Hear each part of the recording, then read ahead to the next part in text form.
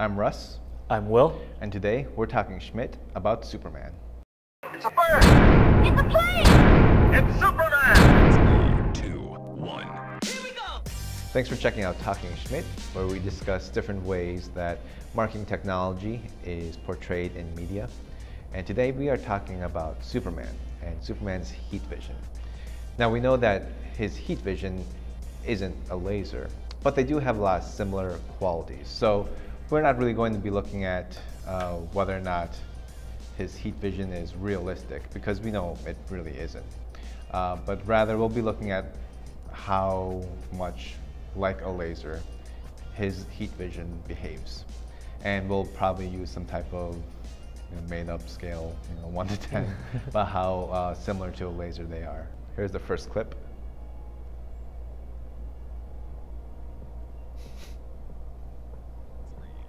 You know, it's interesting. Usually his heat vision is red. Yeah, that's true. I usually don't uh, see it yellow.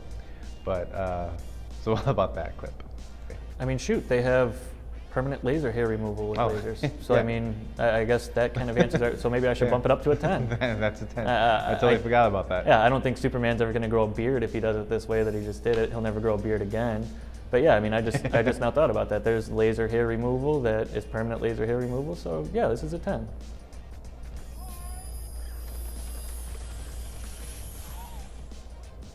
Okay. How about Young- that? Young Superman causing trouble. he was scared. A lot of factors come into play with this one, uh, such as what actually is the temperature coming out of his heat vision? What is the heat measurement? I know on some stuff that I looked up on Superman Wiki, um, it says that the temperature of the heat vision or laser beam is stated to be 5,000 degrees, and they presume that that's Celsius. If that's the case, and he's got that big of a laser beam, or of a beam, excuse me, there's definitely going to be some heat transferred um, to the other side. But uh, I mean, if you were using one of our lasers for something like that, I don't think you'd ever be able to generate enough heat to where it would actually transfer over to the other side of the doorknob. At least not that quickly. Not that quickly, yeah. With with one of our lasers, something like we've got, I'm knocking this one down to. Uh, while it could happen, I'm going to bring it down to a three, just because I don't think it would. Um, you'd have to have a pretty big laser source, I think, in order to generate that much heat to be transferred through a doorknob that quickly. You know, you mentioned the heat or the temperature of Superman's heat vision. And that's one of the differences between his heat vision and lasers. Superman's heat vision has a temperature, whereas lasers have no temperature. Correct.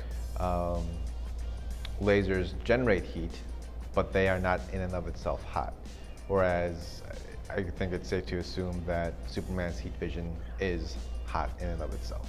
All right, so this next clip is from Smallville. You ever watch Smallville? I have not seen Smallville. I'm so bad at watching stuff.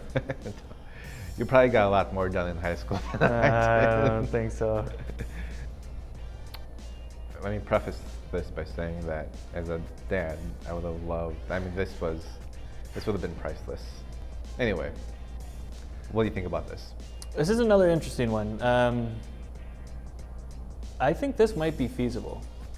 I know we've done applications with lasers before where it's actually had to pass through, and again, this is getting into the focal distance and where you actually set your focal distance, but where it can pass through some material and actually mark on the backside. We've done some things with um, uh, little glass discs that go onto a projector.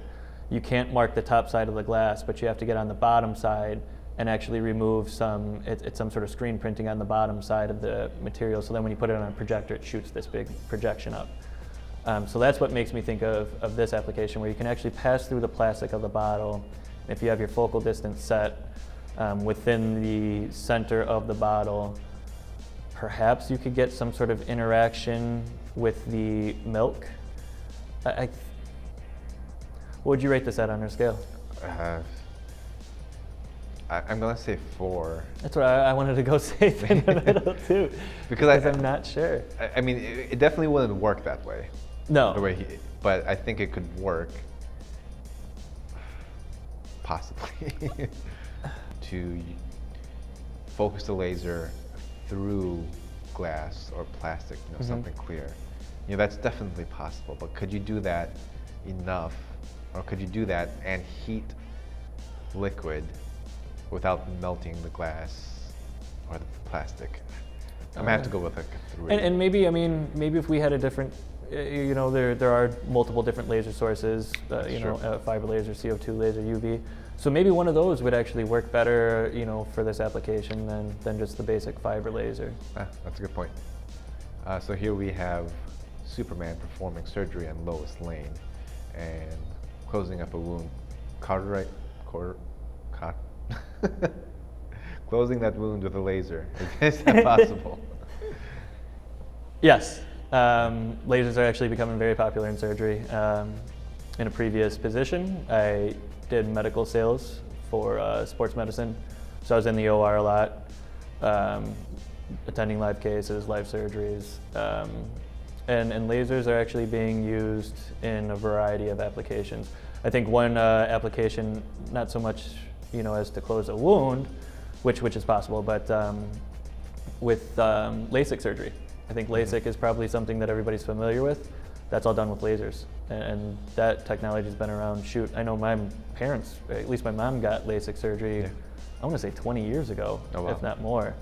Um, uh, so, so lasers used in that. Um, a lot of sports medicine use it. Um, uh, it's a little bit different where they actually create a laser. The laser creates a plasma field, and then that little small plasma field, it's a, it's a very microscopic plasma field um, that pulses. Same kind of idea where it's generating a, laser pulse, and that pulse, each pulse releases a bunch of energy, and then that can remove the material.